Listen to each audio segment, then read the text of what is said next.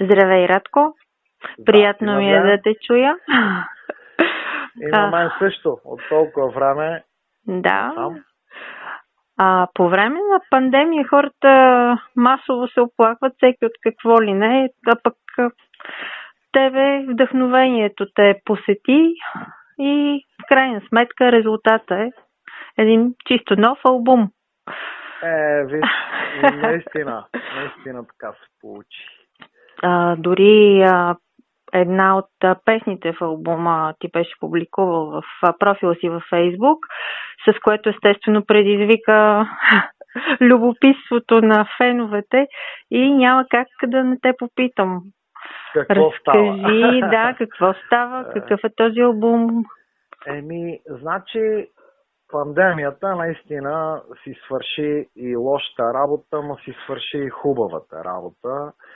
С Рока Рол си бехме много окей. Okay. По цели лета си свирихме по фестивали, по концерти, насам натам. Обаче като се случиха тия неща с коронавируса и това затваряне и просто до там бехме, е, и аз си рекох, е, сега е момента да направя това, което а, трябваше да направя от години. Плюс това, това е една детска мечта, така да се нарече, да. Която реализирам чак сега, след толкова време. И времето се изигра добра, така, много на време се получиха нещата. И само искам да кажа, първо искам да почна с това, че аз почнах още от преди нова година да го правя това нещо. Да. Започнах да пиша текстовете, музиката ми беше в главата и така и така, лека по лека. Те станаха вече 3 месеца и повече. накрая фактологическия процес с техниката също тук целият апартамент беше превърнат в звукозаписно студио. аз знам, че сега ще му попитате веднага, ами другите момчета, значи момчета са окей okay от рок-рола.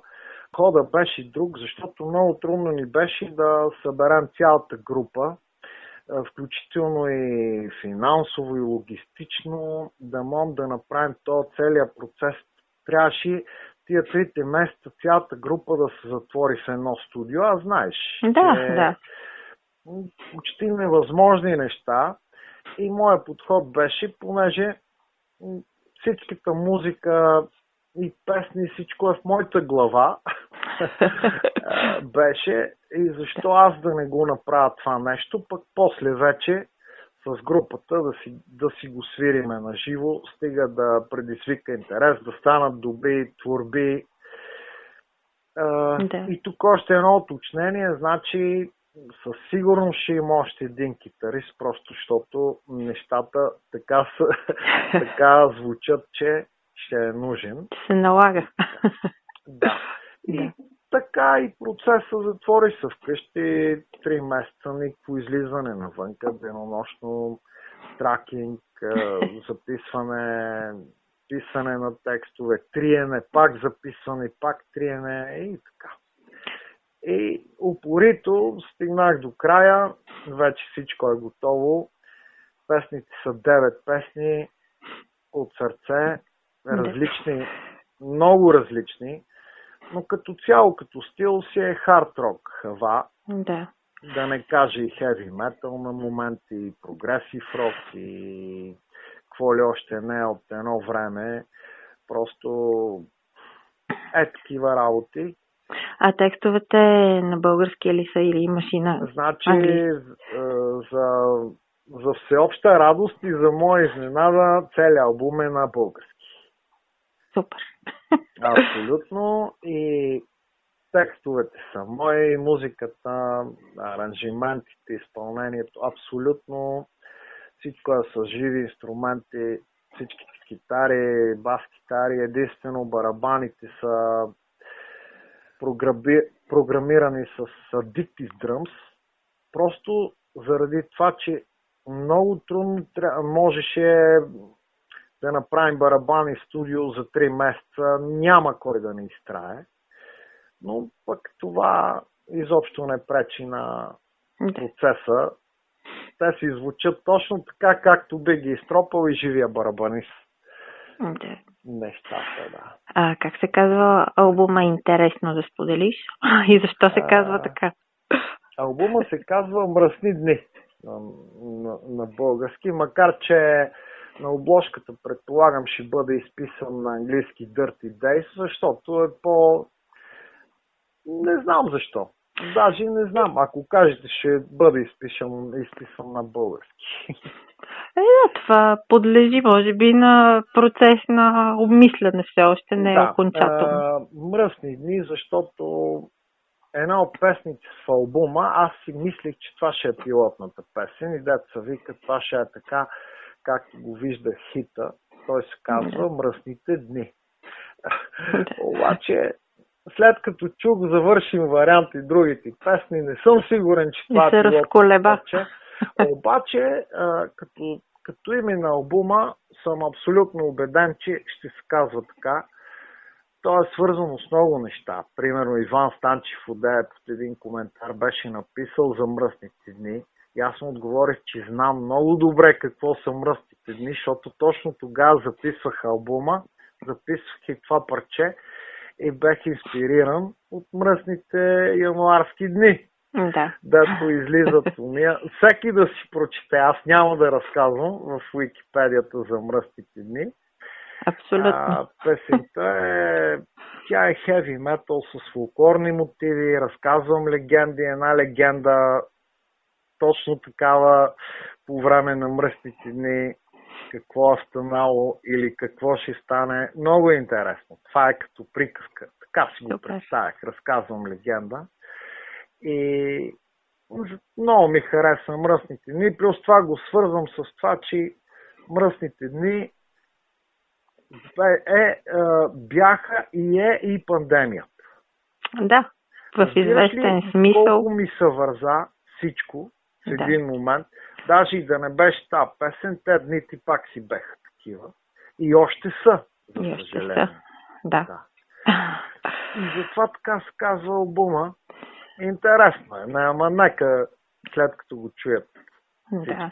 Предстои.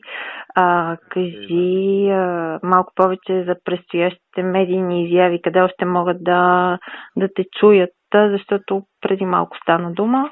Предварителният Ами, разговор. Първа, те песните са 9, само да довърша, Да. с различни имена. Сега няма да разкривам кои са.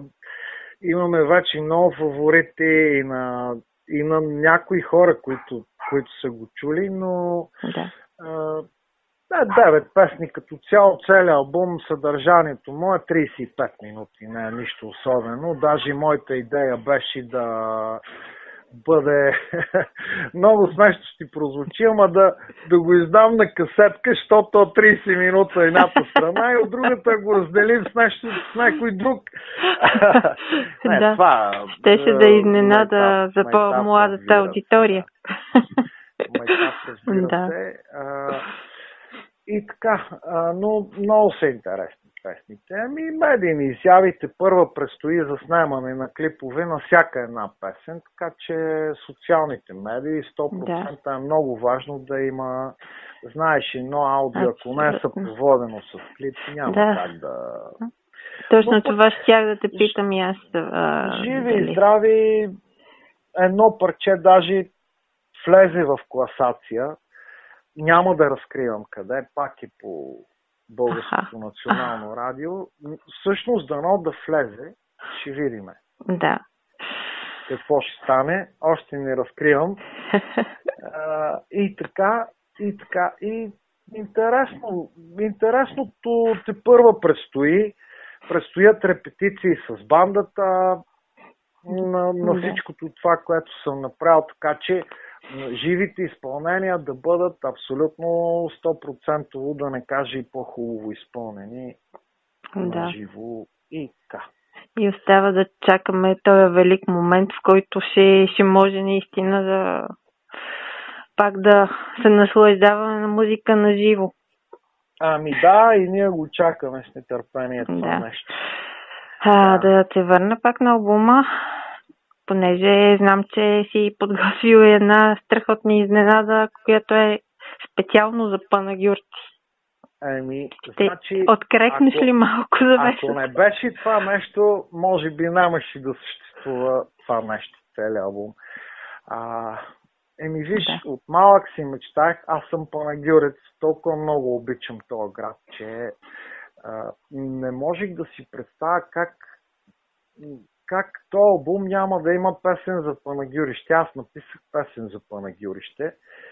Беше ми мечта още от едно време, още от когато там бяхме популярни с една група, детонатор, след това с друга и така, и така, и така нататък.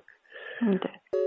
Чак сега, много време мина, написах е, а, значи само искам да кажа, че от а, професионалисти, които чуха парчето, казаха, че това е такъв хит и просто може би едно от най-добрите неща в албума е това и че панагюрци ще бъдат много приятно изненадани с тази песен. Да. И така, а, пък аз това си го мечтаях още от малък да го направя, е, сега го направих. И, интересното е, че да, парчето си е точно в моя стил, Да. хард рок, heavy metal, ако щеш, защото е много динамично и е много бързо. Текстът е много семпъл и запомнящ се припева, но пък сами има, имало е какво да кажа в няколко думи, рефрен, Страхотно. куплет и така. Но ще го чуете, ако има начин, ще го чуете след това интервю. Мадлен се погрижи за това, сигурен съм. Абсолютно. А, и другата изненада е, че е, ще бъде заснет страхотен видеоклип на тази песен, който пак няма да издавам тайни, но ще бъде от панагюрци за панагюрци и премиерата ще му бъде някъде, ще се съобразиме с празника на града, някъде около априлските, първомайските празници, така че да хората да Звучи празнуват страхотно.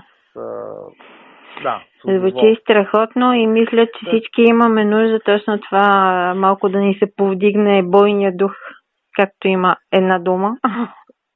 Това е голямата изненада. Да. Всъщност за панагюрци и така.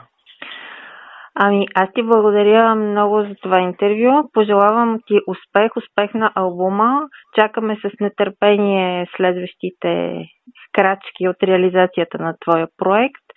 А пък на нашите читатели и слушатели в момента оставяме да чуят това парче. Парчето се казва Панагюрище. Панагюрище. Да, С, с това велико име Панагюрище. да. Еми, пожелавам на всички да са живи и здрави, да бъдат здрави най-вече. Пазете се и всичко най-хубаво и до нови срещи. Благодаря ти.